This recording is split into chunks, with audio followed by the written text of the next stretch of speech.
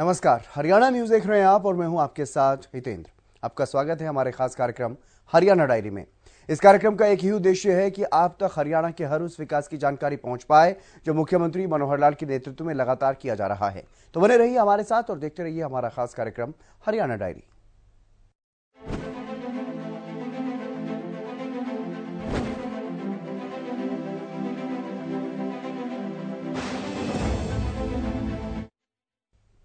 हरियाणा प्रदेश विकास के नए आयाम स्थापित कर रहा है और ये सब मुमकिन हो पा रहा है सीएम मनोहर लाल के कुशल नेतृत्व के कारण। इसी कड़ी में अब सीएम मनोहर लाल की तरफ़ से व्यापारियों को लेकर के घोषणाएँ की गई हैं। एक रिपोर्ट आप देखिए।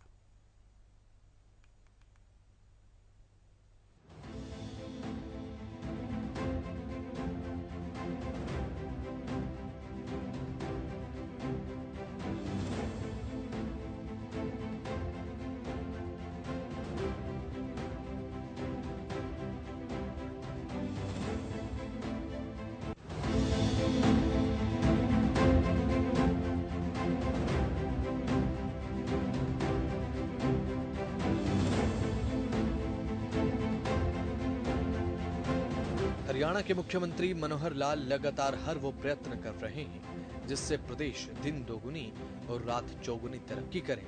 मुख्यमंत्री मनोहर लाल के प्रयासों की बदौलत ही हरियाणा प्रदेश तरक्की के शिखर की ओर बढ़ रहा है। मुख्यमंत्री मनोहर लाल का तो बस ये मानना है कि सभी वर्गों का विकास ही सही मायने में प्रदेश का सर्वांगीण विकास है। मुख्यमंत्री का ये कहना है कि हमारी सरकार के कार्यकाल के दौरान सरकार की तरफ़ से जनता के हित में सराहनीय कार्य किए गए हैं, जिसमें रेट ऑफ़ टैक्स एक अहम कदम है।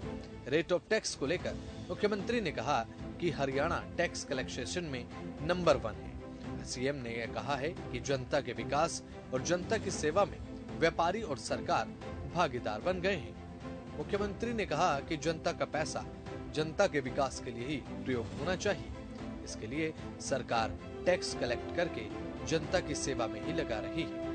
और मुख्यमंत्री मनोहर लाल की तरफ़ से जनता का पैसा जनता के लिए खर्च करना ही उनकी प्राथमिकता है, जिससे जनता का विकास गति पकड़ रहा है। रेट ऑफ़ टैक्स ये बड़ा विवाद होता था। उस समय तो व्यापारी भी कहता था कि रेट कम करो रेट कम करो रेट ज़्यादा है, व्यापार बंद हो जाएगा। हम कई बार कहते थे कि व्यापारी का रेट ऑफ़ टैक्स से क्या लेना? देना टैक्स किसके ऊपर लगता है? कंज्यूमर पर कस्टमर पर। व्यापारी तो एक, उसका कलेक्टर है। कलेक्ट किया, सरकार को जमा करा दिया। लेकिन समस्या क्यों थी? समस्या यह थी कि कोई कलेक्ट करता था, कोई नहीं करता था। तो इसलिए हर कोई कहता था, अगर मानो करना भी पड़ जाए तो थोड़ा सा होगा, मेरा रेट जो है महँगा नहीं होगा। इसलिए कम करो कम करो, व्यापारी लड़ाई करता था। आज टैक्स की कलेक्शन हमारी सबसे ज़्यादा हो गई है और जब हमारे सेक्रेटरी साहब ने अनाउंस किया तो व्यापारी ने ताली बजा दी कि टैक्स ज़्यादा हो गया। टैक्स ज़्यादा कलेक्शन में आज व्यापारी को खुशी होती है। पहले व्यापारी को खुशी नहीं होती थी। अब चूँकि टैक्स ज़्यादा हुआ है, सरकार के पास आया है तो सरकार ने अपने पास तो रखना नहीं। क्या करना है? जनता के लिए विकास के काम करने हैं। जन सेवा में लगाना है। तो इस काम में व्यापारी की भागीदारी। आज व्यापारी और सरकार इस सेवा के काम में भागीदार हो गए हैं पार्टनर्स हो गए हैं। सरकार अपना प्रयत्न करती है टैक्स बढ़ाओ। व्यापारी भी प्रयत्न करता है कि अपने व्यापार को बढ़ाना तो टैक्स बढ़ाने की तरफ़ भी ध्यान देना पड़ेगा। जो ईमानदार व्यापारी होगा, वो आगे बढ़ेगा, निश्चित बढ़ेगा। और जिसका आज भी वो पुराना गुण लगा हुआ है चोरी करनी है तो व्यापारी आगे नहीं बढ़ सकता, उसकी सीमाएँ रहेंगी। एक सीमा में दाल रोटी शायद खाता रहेगा, लेकिन जैसे आज बहुत व्यापारी overnight over the month over the years multiple level पर अपना उनका साइज़ बन जाता है। क्यों बनता है? वो अपने सिस्टम से काम करते हैं। सिस्टम से इंटरफेरेंस नहीं करते हैं। आज अपने हरियाणा में भी व्यापारियों ने ओर बढ़ना शुरू किया है। मैं आपको सबको बहुत बहुत बधाई, बहुत बहुत शुभकामना देता हूँ।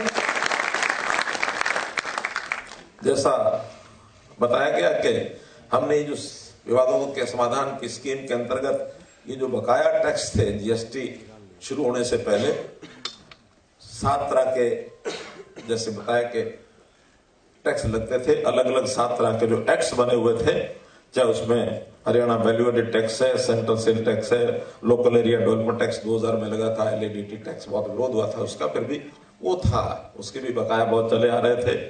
फिर इसके अंदर entry of goods and into local areas act tax on luxuries act Punjab entertainment tax Punjab general sale tax ऐसे सात तरह के टैक्स और ये अलग अलग प्रकार के थे तो कई बार तो बात इन्हीं कारण से थे।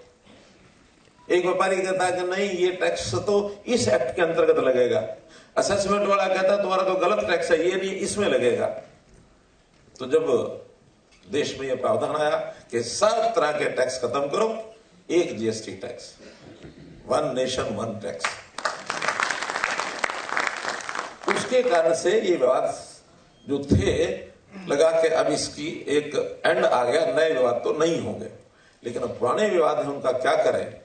तो पुराने विवाद को भी लगातार हम इस लड़ाई को लड़ते रहेंगे तो कोई लाभ नहीं है। कैलकुलेट करने वाले तो अपने कंप्यूटर और कैलकुलेटर से, आज टैक्स इतना है, पेनल्टी इतनी होगी, इंटरेस्ट इतना हो गया, बढ़ाते बढ़ाते मालूम नहीं मिलना कि नहीं मिलना। लेकिन वो बढ़ा बढ़ा के इस लेवल तक ले जाते हैं। और अपने खातों में सरकारी बाबू भी ऐसे करते हैं कि हमारा आज दस हज़ार करोड़ रुपया बैलेंस अमाउंट है जो हमने लेना है। अरे भी कोई देगा तभी तो लोगे। तो उस विवाद को समाधान करने के लिए एक बहुत सोच समझ करके और एक, जिसको कहना चाहिए बहुत जेन्युइन फिजिबल एक पॉलिसी बना करके ये टैक्स की आज हम लेकर के आए हैं। मुख्यमंत्री मनोहर लाल ने कहा कि व्यापारी और कारोबारी को कोई भी परेशानी नहीं होनी चाहिए। इसके लिए सरकार की तरफ़ से लगातार कदम उठाए जा रहे हैं। मुख्यमंत्री मनोहर लाल का कहना है कि ईज ऑफ़ डूइंग बिज़नेस में हरियाणा प्रदेश का तीसरा रैंक है। इसके बाद प्रदेश इन्वेस्टमेंट के मामले में भी बेस्ट प्रेफर्ड डेस्टिनेशन में अब ऊंचाइयों पर है और पहली पसंद है। सीएम मनोहर लाल ने व्यापारियों को हरियाणा की बैकबोन बताया है। मुख्यमंत्री मनोहर लाल का कहना है कि हम सेल्फ असेसमेंट में भी आगे बढ़ रहे हैं। अगर कोई बेईमानी करता पाया जाता है उस पर भी बराबर कार्रवाई की जाती है। इतना ज़रूर बताना चाहूँगा कि हमने जैसे डीलर्स के लिए आज ये घोषणा की है वन टाइम सेटलमेंट स्कीम की, उससे पहले जैसे मैंने बताया कि जो शहरी स्वामित्व योजना भी हमने बताई, व्यापार और कारोबार के और कई ऐसे ईज ऑफ़ डूइंग बिज़नेस जो हमने लागू किया है, बहुत से ऐसे प्रावधान किए हैं कि व्यापारी को, कारोबार करने वाले को इंडस्ट्रियलिस्ट को कोई तकलीफ़ ना आए। तकलीफ़ अगर आती है तो उसका एक वन सिंगल विंडो सिस्टम ये भी हमें बनाया है कि सत्रह अठारह डिपार्टमेंट मिल करके जो जो जिसके विभाग की चीज़ें हैं, नई क्लियरेंसेज और सर्टिफिकेट जो देने हमने, नए जो लाइसेंस देने हैं, वो भी उस सिस्टम के माध्यम से जल्दी से जल्दी दिए जाए। और आपकी जानकारी के लिए बता रहा हूँ कि हरियाणा इस सारे सिस्टम में, पूरे देश भर में ईज ऑफ़ डूइंग बिज़नेस में हमारा थर्ड रैंकिंग है। टॉप थ्री स्टेट्स में हम उसमें आते हैं और उसके कारण से प्रदेश के अंदर एक माहौल भी बना है। इन्वेस्टमेंट का बेस्ट प्रेफर्ड डेस्टिनेशन वो हरियाणा हरियाणा में भी गुरुग्राम और इसके आसपास ये एक अच्छा माहौल बना है। वो चाहे राजधानी के कारण से लगा लो, चाहे एयरपोर्ट के नाते से लगा लो, या एक जैसे प्रारंभ के ट्रेंड बन जाते हैं। खास करके जब विदेशी कंपनीज़ जो एम जो हैं वो भी बहुत ज़्यादा गुड़गांव में उनके ऑफ़िस है। और अब धीरे धीरे गुड़गांव के बाद चाहे वो धारवाड़ा साइड में अथवा मैं इंडस्ट्री की बात कर रहा हूँ, चाहे वो धारवाड़ा नहीं तो फिर पानीपत की साइड में, नहीं तो रोहतक की साइड में फरीदाबाद की साइड में। फरीदाबाद जे एयरपोर्ट बन रहा है उसका भी लाभ एक फरीदाबाद साइड को बहुत हो रहा है। तो इस सब सुधारों के नाते से हम आगे बढ़ रहे हैं। फिर भी व्यापारियों का और कोई सुझाव यदि मिलेगा तो निश्चित रूप से हम आगे बढ़ेंगे, क्योंकि व्यापारी एक प्रकार की बैकबोन ऑफ़ द गवर्नमेंट क्योंकि रेवेन्यू जितना आएगा, उस रेवेन्यू के कारण से ही हम जनता की सेवा ये कर पाएँगे। हरियाणा इस मामले में हमारी जो फाइनेंशियल जो इकोनॉमिक जो ग्रोथ है, वो जैसा बताया एक पर्याप्त मात्रा में हम आगे बढ़ रहे हैं। आज हरियाणा में हरियाणा में, देश में हरियाणा का एक नाम है और हम कभी भी कोई समस्या आती है, उसके लिए तुरंत रिस्पॉन्ड करते हैं। अगर आपको ध्यान में होगा कि फरवरी 2016 जब ये आरक्षण आंदोलन हुए थे उस समय कई शहरों के बड़े नुकसान हुए थे। और उस नुकसान के समय जितना जिसका नुकसान हुआ था स्पेशल हमने उसका असेसमेंट करा करके, और उसकी जो कंपनसेशन का पेमेंट है आ, मुझे लगता है कि इतना फास्ट उस समय किया था कि कभी किसी ने सोचा नहीं था कि within next two months और उनको सबको जो कंपनसेशन मिल जाएगा। क्योंकि व्यापारी का व्यापार एक बार मानो किसी कारण से रुक गया है तो उसको तो लगातार काम को अपने को चलाना है बढ़ाना है और कई बार जो आदमी फंस जाता है किसी कारण से तो उसके कई चक्र बंद हो जाते हैं उसका सारा सिस्टम ही बंद हो जाता है। फिर निर्भरता जिनकी उनके ऊपर होती है चाहे बैंक्स हैं चाहे लेंडर्स क्रेडिटर्स होते हैं, वो सब फंस जाते हैं। और कई बार ये सारा अपने हाथ में भी नहीं होता। व्यापारी को कई प्रकार की ऐसी समस्याएँ झेलनी पड़ती हैं जो उसको एक्सपेक्टेड नहीं होती। मुझे याद है कि जब मैंने बताया उन्नीस सौ बहत्तर से लेकर अस्सी तक मैंने व्यापार किया तो उसी समय में एक काला अध्याय जुड़ गया था, उन्नीस सौ पचहत्तर से सतर तक का। कौन सा? मैंने उस समय ऐसे व्यापारी और ऐसे जो उद्योगपति हैं, कई डूबते हुए देखे। क्योंकि सब तरफ़ ऐसा है कि इंस्पेक्टर राज शुरू हो गया, जो आया वो कहता, बस मेरी जेब में आ जाए, जो कुछ आना है, व्यापार जाए, भाड़ ऐसे कई व्यापारी और कई इंडस्ट्री उस समय नुकसान के गर्त में चले गए थे। तो इंस्पेक्टर राज कैसे खत्म हो, कैसे न्यूनतम हो? खत्म ना तो एकदम अगर कह देंगे कभी कुछ नहीं होगा तो फिर कुछ व्यापारी उसका नाजायज फ़ायदा भी उठाएँगे। तो न्यूनतम करके और सेल्फ असेसमेंट की तरफ़ हम आगे बढ़ रहे हैं। कि जो आप कह रहे हैं उसको हम सत्य मान रहे हैं। मानेंगे, तब तक जब तक सत्य बोलेंगे इस मानने में अगर दुरुपयोग कर लिया तो फिर मानना भी छोड़ देंगे। आज थोड़ा परिवर्तन करने की दिशा में बढ़ रहे हैं। पहले क्या होता था? ये मान करके चलते थे कि हर कोई बेईमान है। और उसके पीछे चार लोग लगा देते थे। आज हम मान के चल रहे हैं कि सब ईमानदार हैं। सब ईमानदार हैं। लेकिन इसमें अगर कहीं डाउट हो गया और कहीं पकड़ा गया तो फिर उसका, उसी प्रकार से उसका निदान भी करना पड़ेगा। उसके कहीं ऐसा ना हो कि ये गुण जो है कहीं और लग जाए और फिर वो जो चलती चलाई ठीक गाड़ी है, वो कहीं उल्टी दिशा में हो गई तो हमने कई देश ऐसे देखे हैं जो इस कारण से बिल्कुल गर्थ में चले गए। दूर मत जाओ, श्रीलंका। दूर मत जाओ, पाकिस्तान। कुछ प्रदेशों की भी स्थिति ऐसी हो जाती है जो अपने सिस्टम का ध्यान नहीं रखते हैं। मैं बहुत बारीकी में इसलिए भी जाता हूँ कि संयोग से मुख्यमंत्री के साथ साथ मैं प्रदेश का वित्त मंत्री भी हूँ। इस नाते भी ये सारी चीज़ें ध्यान रखनी पड़ती हैं। तो कुल मिलाकर के आपसे अपेक्षा यही है कि इन सब चीज़ों में आप भी सहयोग करेंगे और हमारे से जो आपकी अपेक्षा है उसको पूरा करेंगे। मुख्यमंत्री मनोहर लाल ने इस दौरान कहा कि जब इस तरह के प्रावधान या संशोधन किए जाते हैं तो लोगों के पास, व्यापारियों और कारोबारियों के पास बराबर जानकारी भी होनी चाहिए। ये ज़रूरी भी है। इसे लेकर एक training institute GST training institute बनाने का विचार किया गया है, जिससे लोगों तक सभी जानकारी आसानी से पहुँच पाएँगी। हमने ये भी ध्यान किया है कि जब नए इस प्रकार के कोई प्रावधान होते हैं टैक्सेशन के या बाकी सिस्टम के तो व्यक्ति वेल नॉलेज और उसके सिस्टम की जानकारी इसको होनी चाहिए। हमारे सरकारी जो अधिकारी कर्मचारी हैं, उनको भी कई बार कठिनाई होती है, उनको पता नहीं होता तो वहाँ विवाद बनते हैं।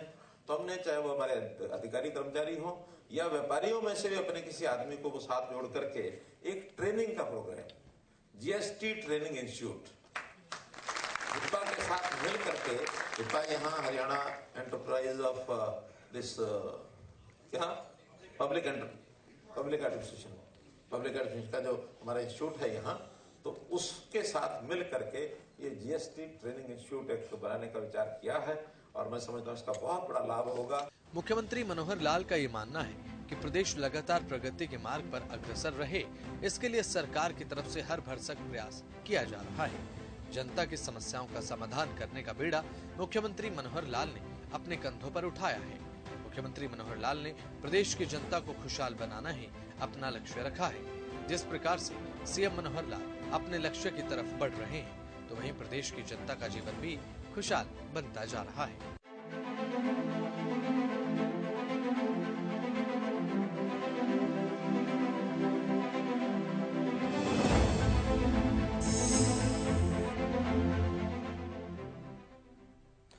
हरियाणा सरकार ने नए साल के मौके पर सरकारी कर्मचारियों और उनके आश्रितों को कैशलेस स्वास्थ्य सुविधा का बड़ा तोहफा दिया है। रिपोर्ट आप देखिए।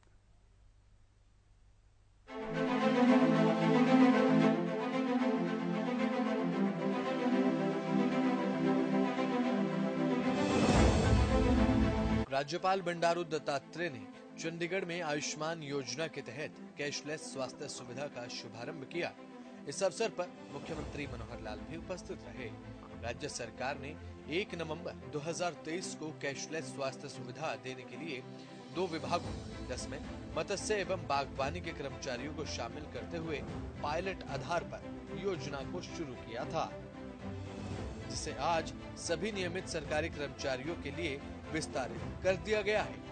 इसके अलावा इस योजना पायलट आधार पर बागवानी और मत्स्य पालन विभाग आईएएस, आईपीएस और आईएफओएस के कर्मचारियों और उनके आश्रितों तक भी बढ़ाया जा रहा है। यह योजना आयुष्मान भारत हरियाणा स्वास्थ्य संरक्षण प्राधिकरण राज्य स्वास्थ्य प्राधिकरण के माध्यम से क्रियान्वित की जा रही है। राज्यपाल बंडारू दत्तात्रेय और मुख्यमंत्री मनोहर लाल ने आयोजित कैशलेस स्वास्थ्य सुविधा शुभारंभ कार्यक्रम के दौरान लाभार्थियों को सांकेतिक रूप से आयुष्मान कार्ड भी वितरित किए सभी हितधारकों जैसे पैनल पैनलबद्ध अस्पतालों और लाभार्थियों को इस कैशलेस योजना से बहुत लाभ होगा, क्योंकि इसके अंतर्गत सूचीबद्ध प्रक्रियाएँ पूर्ण रूप से कैशलेस होंगी और अस्पतालों को एक निर्दिष्ट समय सीमा के भीतर एक ही प्लेटफॉर्म से उनके दावों को मंजूरी मिल जाएगी। यह योजना लाभार्थियों और अन्य हितधारकों को अधिक कुशल, निर्बाध और साथ ही परेशानी मुक्त और समयबद्ध सेवाएँ प्रदान करने का काम करेगी। यह योजना मौजूदा प्रावधानों के अनुसार, न केवल छह जीवन घातक आपात बीमारियों, यानी हृदय संबंधी आपात स्थिति, मस्तिष्क रक्त रसाव, कोमा, बिजली का झटका, थर्ड व फोर्थ स्टेज ऑफ़ कैंसर, और साथ ही किसी भी प्रकार की दुर्घटनाओं को कवर करती है, बल्कि यह लाभार्थियों की स्वास्थ्य की देखभाल, आवश्यकताओं को पूरा करते हुए सभी प्रकार के इंडोर उपचारों डे केयर प्रक्रियाओं को कवर करती है। ये सेवा इस योजना के तहत डीजीएचएस के पैनल में शामिल सभी अस्पतालों में लाभार्थियों के लिए उपलब्ध होगी। सूचीबद्ध अस्पतालों में योजना के तहत लाभ प्राप्त करने के लिए सभी लाभार्थियों को E card C C H F card जारी किया जाएगा। लाभार्थी पेई कोड, आधार नंबर या पीपीपी नंबर का उपयोग करके लाभ उठा सकते हैं। योजना के तहत पूरा खर्च राज्य सरकार की तरफ़ से वहन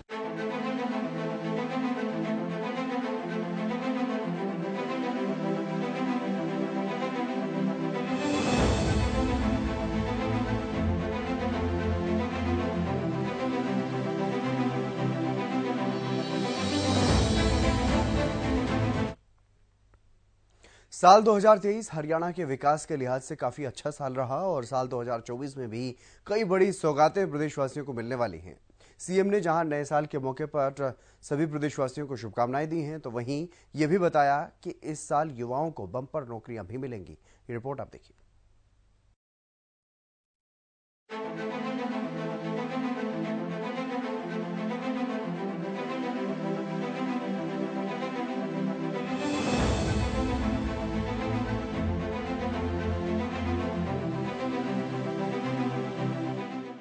हरियाणा की मनोहर सरकार पिछले नौ सालों से लगातार जनता के हित में काम कर रही है।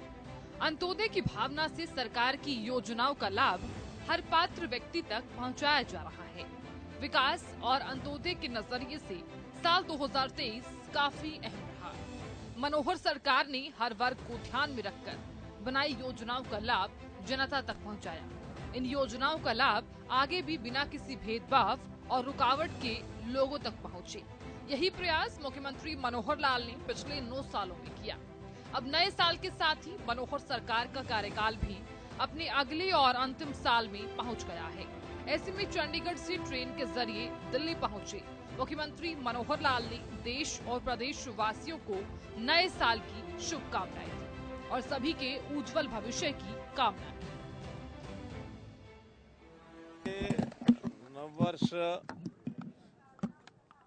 2024 अच्छी शुभकामना के साथ सबके जीवन में खुशहाली लाने वाला ये वर्ष बने, ऐसी मैं प्रभु से प्रार्थना करता हूँ।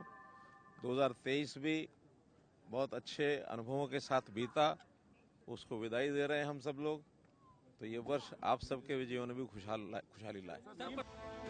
मुख्यमंत्री ने पत्रकारों से बातचीत में कहा कि जो सरकार की योजनाएँ चल रही हैं, वह लोगों को डिलीवरी देने का वर्ष है क्योंकि पांचवा साल सरकार का शुरू हुआ है। इस साल खास तौर पर प्रदेश में सरकारी नौकरियों की प्रक्रिया शुरू हुई है। ग्रुप सी और डी करीब साठ हज़ार सरकारी नौकरी युवाओं को इस साल में मिलेगी। जनसंवाद और विकसित भारत यात्रा के कार्यक्रम चल रहे हैं। उनके माध्यम से सरकार की तमाम योजना का लाभ लोगों को मिल रहा है।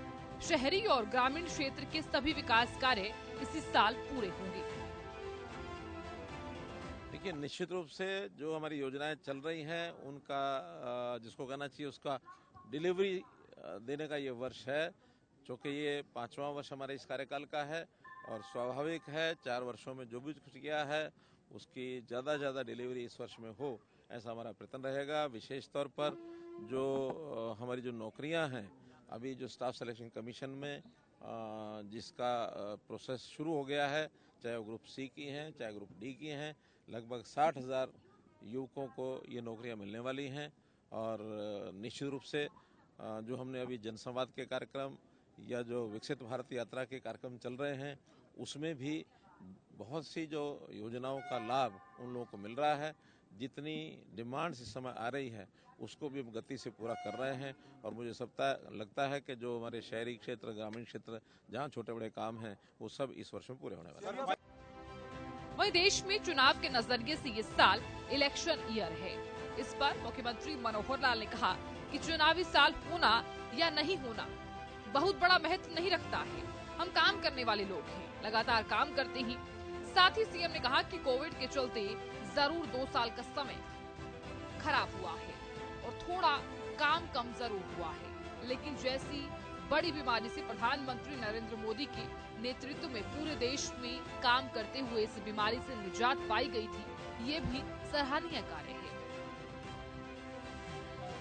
देखिए चुनावी चुनावी वर्ष होना न होना हमारे लिए इतना बड़ा महत्व नहीं रखता है, क्योंकि हम कर्म करने वाले लोग हैं और लगातार कर्म करते हैं। कष्ट अगर इस पिछले सत्र का है तो वो कोविड के समय का है कि दो वर्ष हमारे खराब हो गए और जो काम हम, ना, यानी कम काम हुआ और जनता की सेवा जितनी होनी चाहिए उतनी नहीं हो पाई। फिर भी कोविड जैसी बीमारी को जिस बढ़िया खूबसूरत ढंग से देश के प्रधानमंत्री जी के नेतृत्व में, सारे देश भर में और जिसको मुकाबला करके उससे निजात पाई है, वो भी अपने आप में बड़ी उपलब्धि रही है और निश्चित रूप से जनता की सेवा हम आगे करते रहेंगे।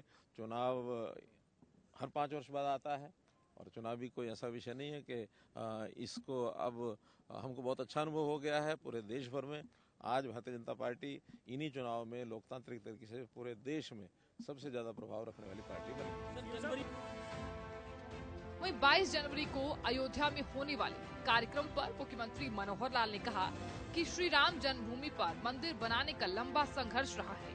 लंबे वर्ष के इस संघर्ष के बाद देश की जनता आकांक्षा पूरी होने मैं देश की जनता को इसके लिए अग्रिम बधाई और शुभकामनाएँ देता हूँ आगे सीएम ने कहा 22 जनवरी को लोग अपने अपने घर पर दीपक ज़रूर जलाएँ। इसको दीपावली की तरह मनाएँ। साथ ही सीएम ने कहा कि 9 फरवरी को हरियाणा के लोग अयोध्या जाएँगे देखिए श्री रामचंद्र जी के जन्म स्थान के ऊपर मंदिर बनाने का ये जो संघर्ष, बहुत वर्षों का संघर्ष है और वर्षों के संघर्ष के बाद और देश की जनता की आकांक्षाएँ पूरी होने वाली है।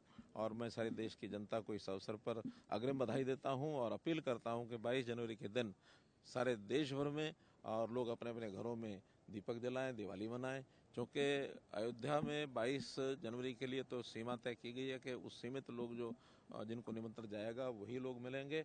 और मैं हरियाणा की जनता को लोग कहूँगा कि वो अपने अपने घरों में दिवाली मनाएँ। 9 फरवरी के दिन 9 फरवरी के दिन हरियाणा के लोग अयोध्या जाएँगे। वहाँ हर प्रांत को एक एक दिन का समय दिया गया है ताकि लोग वहाँ ज़्यादा ज़्यादा जा सकें। आप खुद भी जाएँगे उस समय देखेंगे। हरियाणा के विकास के नज़रिए से ये साल काफ़ी बेहतरीन रहा। सिर्फ़ कोविड के सालों को छोड़ दिया जाए तो न सिर्फ़ ये साल बल्कि पूरे नौ साल विकास को रफ्तार देने वाले रहे हैं। ऐसे में मनोहर सरकार का यही प्रयास है कि ये साल भी विकास के नज़रिए से बेहतर रहे। और जो भी पेंडिंग काम रह गए, उन्हें इस साल हर हाल में पूरा किया जाए।